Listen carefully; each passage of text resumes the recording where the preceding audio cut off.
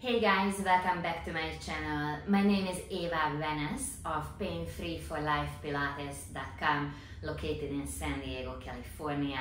I specialize in working with people who suffer from some kind of chronic pain or live with a chronic condition and here on YouTube I post weekly content on how to eliminate chronic pain without the use of drugs and surgeries and how to increase your strength flexibility and mobility. In today's video, I want to give you some exercise ideas of how to prepare for skiing if you're a senior. Um, seniors tend to lose uh, mobility in their shoulder girdle, rib cage, in the hips, they get tighter. Also, there are some muscle deficiencies that usually present themselves as we age. For example, um, lack of strength in the spinal erectors, in the core, in the hip muscles. So in these exercises, we are going to address all of those. Um, first of all, thoracic mobility, being able to rotate the rib cage and move the shoulders is really important when it comes to uh, skiing. So um, just uh, get into similar to child pose on your mat. Mm, bend your knees, sit back on your heels, and just raise your right arm, circle your arm around, rotate your rib cage, look towards your moving arm, open up the chest. Uh, this will get your rib cage more flexible and will restore your shoulder mobility and it will help you with neck tightness as well if you suffer from that. Let's do it on the other side. Raise your arm and circle around. And just look towards that moving arm. Follow it with your gaze.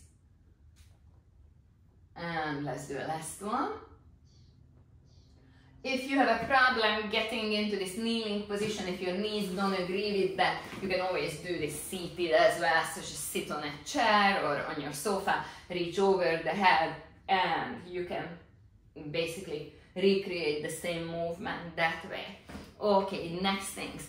Um, as I said, seniors often tend to have tight hips. As we age, we use our hips a little bit less and those muscles get tight. They just get used to the lack of range of motion. So on your uh, hands and knees, you're going to raise your knee, take it out to the side, circle it around. And give it a nice big circle as you keep the rest of your body relatively still. So just balance on that left leg as you circle the right knee. Keep your lower back, shoulders nice and stable. Now let's do this on the other side. Raise your knee up, take it up to the side. Bring it down, back under your hip. And just visualize the head of that thigh bone circling around in the hip socket Mm, let's do this twice more, even if you're not a skier, if you're, uh, but you enjoy any kind of winter sport, I highly recommend that you do these knee circles. Okay, um, as I mentioned, oftentimes um, the legs get a little bit uh, underworking or, or um, you might have noticed that you lose strength in your quadriceps. You're gonna work on that now. So just come on up to a squatted position. Really important in skiing, right? You're squatting the entire time. And since you have to drop the weight back onto your heels, work on that too. Pull up your toes and just try and flare them out you can drop them now and then pull them up again. Great strengthening exercise for mm, the lower legs, for the feet, and for the quadriceps. Lifting and dropping the toes as you're holding your squat. Um, let's do a plank next. So just plant your hands down. Make sure your back is nice and straight. Roll back the shoulders.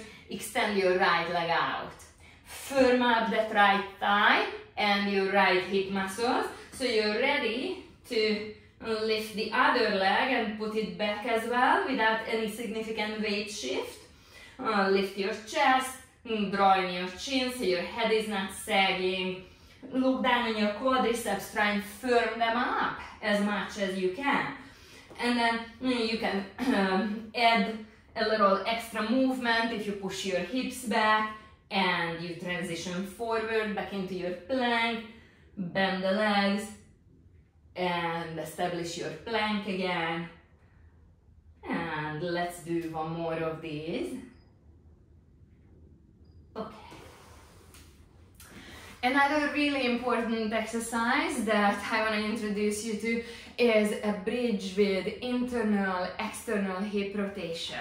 Hmm, so just come lay down on your back, turn out your toes, turn out the knees, raise the hips, squeeze the glutes. And this will strengthen the external hip rotators that you really need to work on for uh, strength on the ski slopes. And now we're gonna bring our heels together, but the toes are still apart. Uh, so that targets your legs from a little bit different angle. You probably feel um, your quadriceps, your inner thighs, your hip muscles. Focus on your core as well. Mm, draw the breastbone, the navel and the pubic bone together. Press your shoulders down for upper back strength.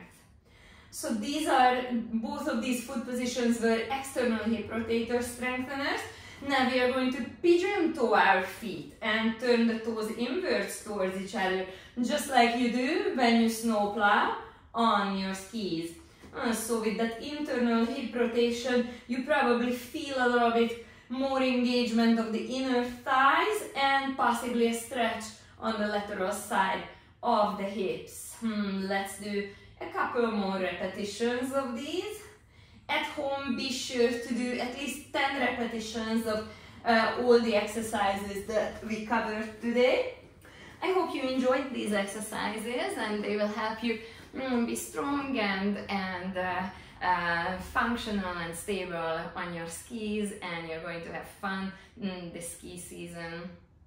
If you would like more uh, strengthening exercises or you would like a complete program of how to prepare yourself for skiing, visit my website and check out uh, the shop tab. I have a number of on-demand home programs under the shop tab that you can choose from.